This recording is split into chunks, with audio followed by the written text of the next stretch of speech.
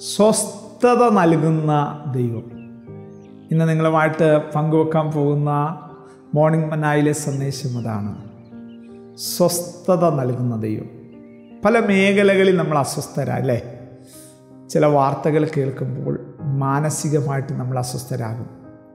ചില രോഗങ്ങളുടെ അവസ്ഥകളിലൂടെ കടന്നു പോകുമ്പോൾ ശാരീരികമായിട്ട് അസ്വസ്ഥരാകും. മറ്റു വിഷയങ്ങൾ പരിഹരിക്കപ്പെടാതെ വരുമ്പോൾ ഭവനത്തിനകത്ത്. ആമേ പല മേഖലകളിൽ നമ്മൾ അസ്വസ്ഥരാകാറുണ്ട്. എന്നാൽ സ്വസ്ഥത നൽകുന്ന ഒരു ദൈവത്തെക്കുറിച്ചാണ് ആമേൻ ഏതൊക്കെ ഇടങ്ങളിലാണ് നമുക്ക് സ്വസ്ഥത വേണ്ടത്? ഭവനത്തിനകത്ത് നമുക്ക് സ്വസ്ഥത വേണം. ജോലിയിൽ നമുക്ക് സ്വസ്ഥത വേണം. തിമത്യൂസിന്റെ ലയനത്തിൽ പറയുന്നത് ആമേൻ സ്വസ്ഥതയുള്ള ജീവനം കഴിക്കേണ്ടതിനെന്ന്. ഇപ്പോൾ ജോലി മേഖലകളിൽ സ്വസ്ഥത വേണം. ആമേൻ സങ്കീർത്തനത്തിനകത്ത് കാണുന്നത് ആമേൻ. എൻ മനമേ നീ വീണ്ടും സ്വസ്ഥമായിരിക്കും. മനസ്സിനകത്ത് നമുക്ക് സ്വസ്ഥത വേണം. ആമേൻ. മർക്കോസിന്റെ സുവിശേഷത്തിൽ നമ്മൾ കാണുന്നത് ബാധയൊഴിഞ്ഞു ശരീരത്തിൽ താൻ സ്വസ്ഥയായി എന്നറിഞ്ഞു. ശരീരത്തിൽ സ്വസ്ഥത വേണം. അടുത്തതായിട്ട് ദേശത്തിൽ നമുക്ക് സ്വസ്ഥത വേണം. അതിനെക്കുറിച്ച് ഞാൻ നിങ്ങളുമായിട്ട് പങ്കുവെക്കാൻ പോകും നമ്മൾ പാർക്കുന്ന ഇടത്ത് നമ്മൾ പാർക്കുന്ന രാജ്യത്തിൽ നമ്മളായിരിക്കുന്ന സ്ഥലത്ത് നമുക്ക് സ്വസ്ഥത വേണം. എങ്ങനെയാണ് ദേശത്തിന് സ്വസ്ഥത ലഭിക്കുന്നതെന്ന് ഞാൻ നിങ്ങളുമായിട്ട് പങ്കുവെക്കാനായിട്ട് പോവുക നമ്മെ ന്യായാധിപന്മാരുടെ പുസ്തകം എട്ടാമത്തെ അധ്യായം ഇരുപത്തിയെട്ടാമത്തെ വാക്യം. എന്നാൽ മിഥ്യാൻ തല പൊക്കാതെ വണ്ണം ഇസ്രായേൽ മക്കൾക്ക് കീഴടങ്ങിപ്പോയി. ഗിതയോന്റെ കാലത്ത് ദേശത്തിന് നാൽപ്പത് സംവത്സര സ്വസ്ഥതയുണ്ടായി. രണ്ട് കാര്യങ്ങൾ നമുക്കവിടെ കാണാനായിട്ട് കഴിയും. ഒന്ന് അന്ധകാര ശക്തികൾ കീഴടങ്ങി. അന്ധകാര ശക്തികൾ കീഴടങ്ങി. നമുക്കറിയാം ഇസ്രായേൽ മക്കളെ വളരെ ക്ലേശിപ്പിച്ച രണ്ട് പ്രധാനപ്പെട്ട ശക്തികൾ. ഒന്ന് ഫെലിസ്തീ ശക്തി രണ്ട് മിഥ്യാനി ശക്തി. നമ്മൾ മനസ്സിലാക്കണം അവർ സ്വന്തം രാജ്യത്ത് വന്ന് വളരെ കുറച്ച് നാളുകളെ ആയുള്ളൂ. ഒരു ശൈശവാവസ്ഥയിലൂടെ പോവുക. ഈ സമയങ്ങളിലെല്ലാം മിഥ്യാന്യരവരെ ക്ഷയിപ്പിക്കുകയാണ്. അതിനൊരു കാരണമുണ്ട്. ദൈവം നൽകിയ പദവികളിൽ നിന്ന് ദൈവം നൽകിയ ആ കോട്ടയ്ക്കകത്ത് നിന്ന് അവർ പാപം ചെയ്ത് വെളിയിൽ പോയി. അമ്മേ പാപം നമ്മളെ കീഴടക്കി കഴിഞ്ഞാൽ നമുക്ക് അസ്വസ്ഥത വരും കേട്ടോ. ഹാൽ ദൈവസാന്നിധ്യം വിട്ടുമാറിക്കഴിഞ്ഞാൽ ശത്രു പ്രബലപ്പെടാനിടയായിത്തീരും. അങ്ങനെ ആയിക്കഴിഞ്ഞാൽ എന്ത് സംഭവിക്കും? ശത്രുവിന്റെ പരിപാടി എന്തുവാ? മോഷ്ടിക്കുക അറക്കുക മുടിക്കുക കൊല്ലുക. ഇതാ ഇതവന്റെ പരിപാടി. അമ്മേ എന്നാൽ ജീവൻ നൽകുക സമൃദ്ധിയായിട്ട് നൽകുക ഇതാ ദൈവത്തിന്റെ ഉദ്ദേശം. ഇതിന്റെ രണ്ടിന്റെയും നടുക്ക് നിൽക്കുന്ന ആരാ? നമ്മളാ. നമ്മളെടുക്കുന്ന തീരുമാനം നമ്മൾ ദൈവത്തോട് അടുത്തു വരുന്നതിന്റെ ആ ഒരു ആമൻ മഹാത്മ്യ അനുസരിച്ചാണ് ദൈവത്തിന്റെ പ്രവൃത്തി നമുക്ക് വേണ്ടി വെളിപ്പെടുന്നത്. ഇവിടെ നോക്കിയ പ്രിയപ്പെട്ടവരെ മിഥ്യാനി ശക്തി വളരെ കഷ്ടപ്പെടുക.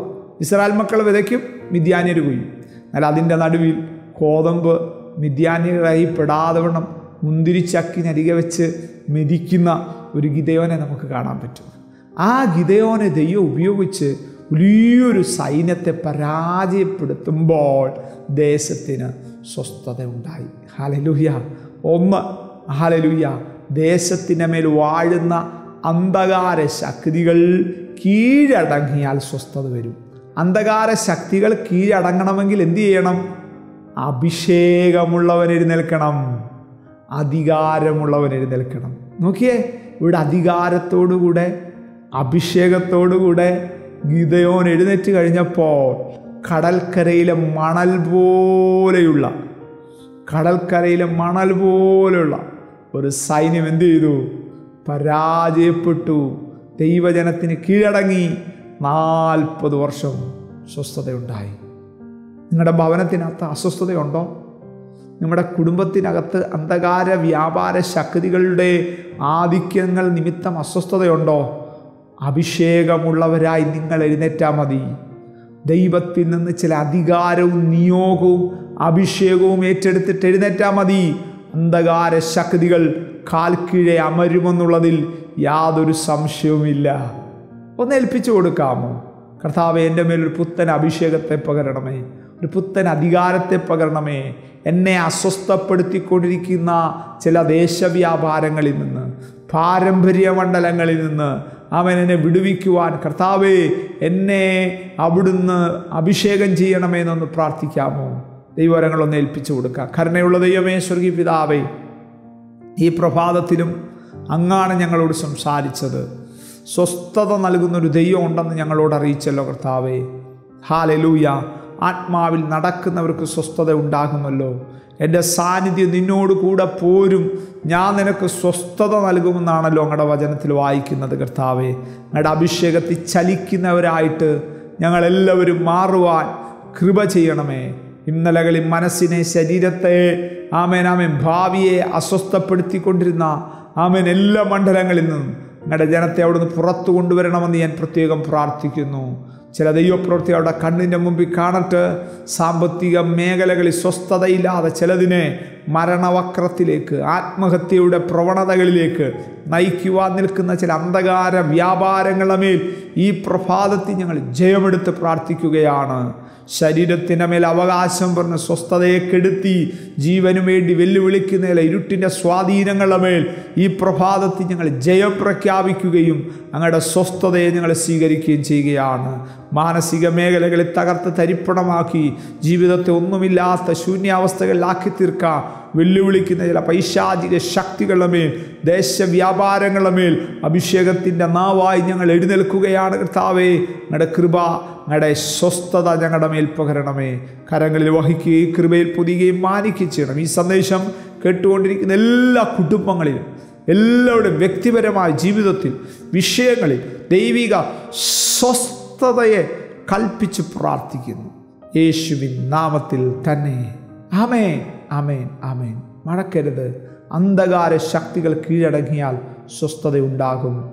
അഭിഷേകമുള്ളവൻ എഴുന്നേറ്റാൽ മാത്രമേ അന്ധകാര ശക്തി കീഴടങ്ങത്തുള്ളൂ. അഭിഷേകം വഹിക്കുന്നവരായി അധികാരത്തോടെ നമുക്ക് എഴുന്നേൽക്കാം. ഗോഡ് ബ്ലസ് യു ദൈവം നമ്മെ അനുഗ്രഹിക്കട്ടെ. പ്രൈസ് ലോഡ് മോർണിംഗ് മന്ന സന്ദേശം ശ്രമിച്ചുകൊണ്ടിരുന്ന എല്ലാ ദൈവമക്കൾക്കും സ്നേഹവന്ദനം. പാസ് ബിനു വട്ടപ്പാറ. ഈ ദൈവവചന സന്ദേശങ്ങൾ തുടർമാനമായി ലഭിക്കുന്നതിനായി nine seven four five six zero zero zero two three എന്ന വാട്സാപ്പ് നമ്പറിൽ ബന്ധപ്പെടാവുന്നതാണ്. നമ്പർ ഒരു പ്രാവശ്യം കൂടി ആവർത്തിക്കുന്നു. തൊണ്ണൂറ്റിയേഴ് നാൽപ്പത്തിയഞ്ച് അറുപത് പൂജ്യം പൂജ്യം ഇരുപത്തി മൂന്ന് ദൈവം നമ്മേവരെയും അനുഗ്രഹിക്കട്ടെ. God bless you.